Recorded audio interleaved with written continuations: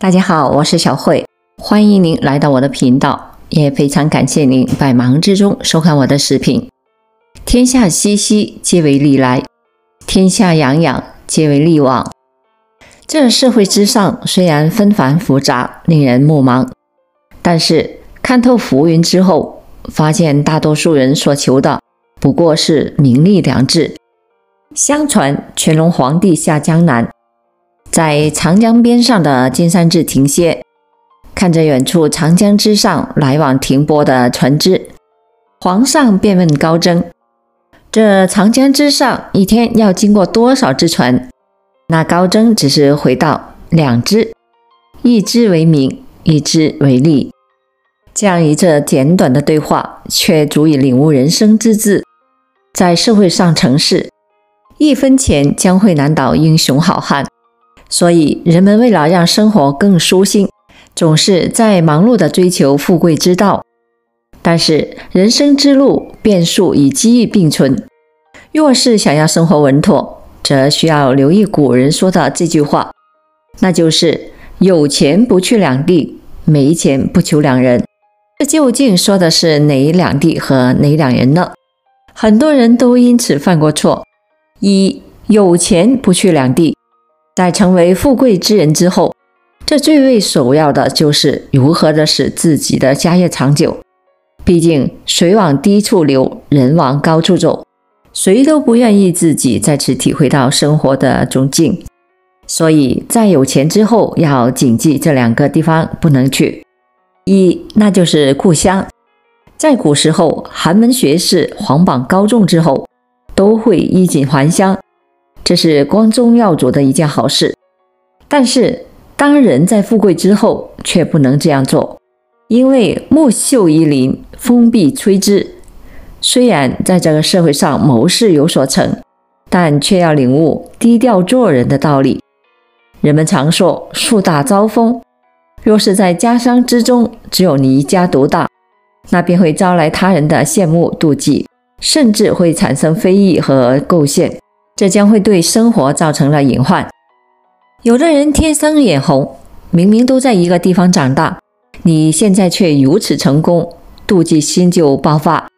为了给自己找个心理平衡，免不了在乡里乡间挖空心思的到处编造你。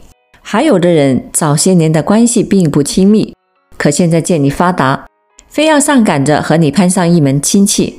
有事没事都联络你借点钱帮个忙，一来二往也不知道感恩。你如果不借，还闹得个为富不仁、不讲情面，在外处处损害你的名誉。所以说，成功或者是富有之后，更要懂得低调。不过也不能忘记家乡里曾给过你帮助和扶持的人，也要选择合情合理的方式回报。二，不去赌场。沉迷于赌博之人，心智大都不成熟，总想着能够以小博大，但最终却落得十赌九输、满盘皆空的下场。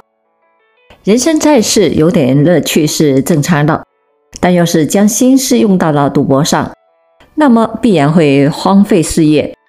君子爱财，取之有道，而这赌博不仅违背了常理，即使家财万贯，这亏空。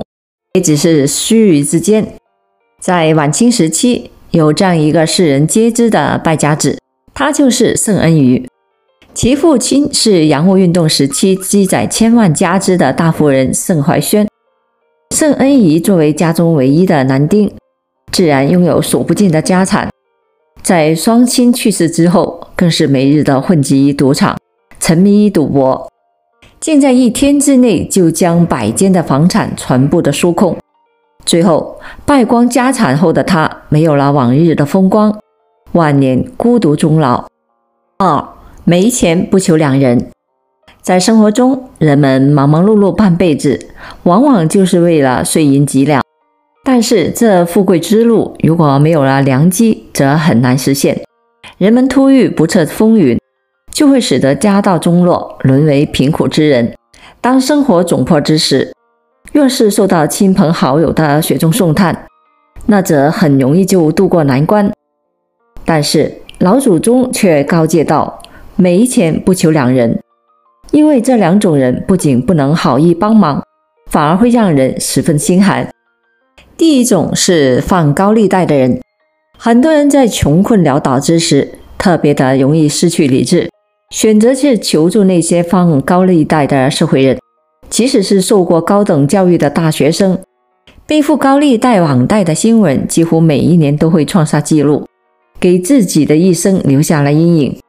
民间有很多放高利贷的小公司，他们言之凿凿，明面上是营造出巨大的优惠和利益，但事实上他们都是不正规的。如果在这里受到了损害，在法律上是得不到保护的，根本就无处说理，只是陷入了泥潭，令自己最后更是走投无路。第二种虚情假意的朋友，对于这社会上的人情往来。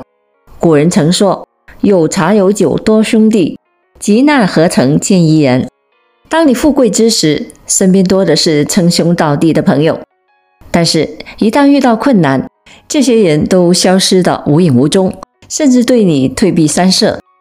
寻求这些人的帮忙是无用之功，也会让人惊觉现实的冷酷。三国时期以勇猛著称的吕布，最早是在丁原的手下办事。称之为义父，对这位义父言听计从，从而也得到了不少的利处。但是之后，丁原带着吕布来到繁华的洛阳，在结识更有能力的董卓之后，吕布见利忘义，竟然将自己的义父杀害，转入董卓的麾下。这样的虚情假意之人，最终也难以成事，多次背叛盟友之后，被曹操处死。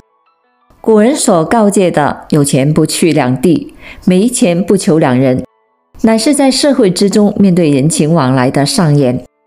富贵之人若是想要家业行稳致远，则注意不要去赌场，也不要在家乡中招摇过市；而贫苦之人在谋求他人帮忙时，的高利贷和虚情假意的朋友则不必求，不仅对生活现状于事无补，反而徒增烦恼。